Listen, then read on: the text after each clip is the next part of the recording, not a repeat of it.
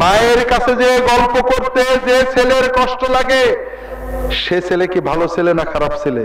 বুঝতে হবে ওর ভিতরে আসল মানুষত্ব নষ্ট হয়ে গেছে। ঠিক আল্লাহর সামনে পাঁচ মিনিট দাঁড়িয়ে দুটো সেজদা দিতে যার কষ্ট লাগে, বুঝতে হবে মনুষ্যত্ব নষ্ট হয়ে গেছে। ওর রুচি বাড়াতে হবে। ভাইরা, নামাজের সে মজার জিনিস নেই। আল্লাহর সাথে কথা বলেন। যখন কেউ বলে, হুজুর, নামাজ পড়ি না, ইমান ঠিক আছে? আমাদের খুশি খুশি লাগে। হুজুরদের লাভ। হুজুরদের লাভ। একটু বলে দিই আপনাদের। এটা মারেফতের ভেদ কথা, আমরা পিসেবরা জানি, আপনারা বুঝবেন না। নামাজ পড়ে না ইমান ঠিক আছে। এই রকম মানুষেরা কিন্তু খুব অস্থির হয়। গ্রামে দেখেন, নামাজ পড়ে না, বেটা বেটি ছোটকে যে কোনো বিপদ আপদে, গরুর অসুখ হোক আর ছেলের অসুখ হোক, অস্থির হয়ে যায়। ও জানে যে আল্লাহ বিপদ কাটায়, কিন্তু আল্লাহ কাছে চাইতে পারে না। কোন উইকনেস হবে ও তখন তাড়াতাড়ি দুই হাজার টাকা, এক হাজার টাকা, একটা মুরগি, একটা ছাগল নিয়ে কি করে? আমাদের কাছে যাই আমরাও ভাগের ভাগ পাই।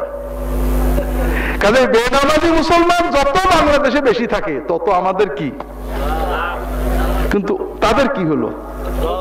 লস এক নম্বর লস আপনি আমার কাছে চাইলে, আমার কোনো ক্ষমতা নেই। আল্লাহ কোরআনে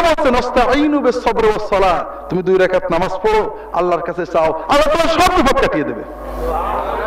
আল্লাহ নামাজের দোয়া করবে আল্লাহ তোমার সব দোয়া কবুল করে নেবে। কাজেই, যদি নামাজ পড়ে একটু আল্লাহর কাছে চাইতাম, আল্লাহ সব কাটিয়ে দিত। এর চেয়ে বড় চাওয়া নেই। হ্যাঁ আপনার শুনবেন, সলিমদ্দি কলিমদ্দি অমুক অমুক দরগায় মানত করলে সেরে যায়। কে বলেছে, কোরআনে আছে নাকি?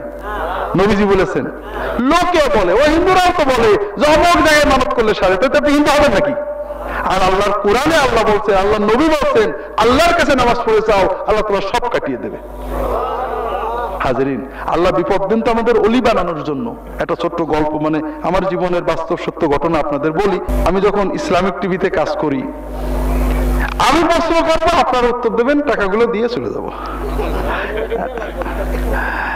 আমি যখন ইসলামিক টিভিতে, আমরা যখন জেনে নি না, অনুষ্ঠান করতাম, তখন আমাদের এক ভাই আসলেন ঢাকা ঢাকা শহরে, ওই বাইতুল পাশে, কি যেন বিজয়নগর টগর, কি যেন জায়গার নাম।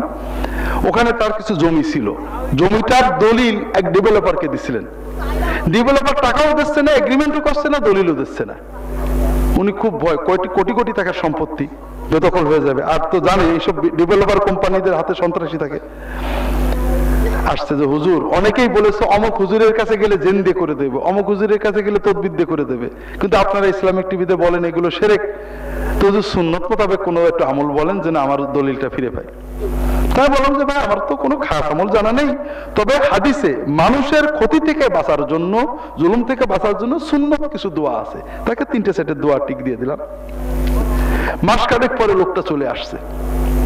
এসে বলছে যদির একটা সুসংবাদ আছে। তো কি? তো ওই লোকটা বলা নেই, কোয়া নেই, আমি কোন সময় যাইনি তার কাছে। হঠাৎ একদিন দরজায় বেল দিয়ে দলিলটা আমার হাতে দিয়ে চলে গেল। আমি বললাম যে তো ভাই, ভালো কথা। বললেন না, স্যার, একটু মনটা খারাপ। কেন? বলে, স্যার, আপনার কাছে এই দোয়াগুলো শিখে যাওয়ার পরে আমি তাহাজত পড়তাম। আমি ওখানে বলছিলাম যে তাহাজতে শেষ দায় দোয়াটা করবেন। তাহাজত পড়তাম শেষ দায় কানতাম, জমির জন্যই কানতাম, কিন্তু তারপর আল্লাহর কাছে তো কানতাম। খুব ভালো লাগতো।